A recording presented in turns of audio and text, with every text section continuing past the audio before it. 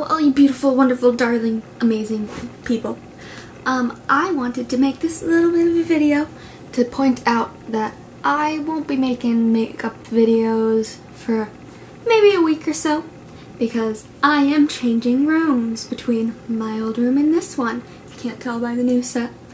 Um, I just won't have the ability to film any videos with makeup in it because I won't have any space to do that because I have to build a vanity and we don't have all the parts for that. So, if you guys want to see a video of me either building my vanity or, you know, a room tour after this is done, comment down below and tell me what you want to see.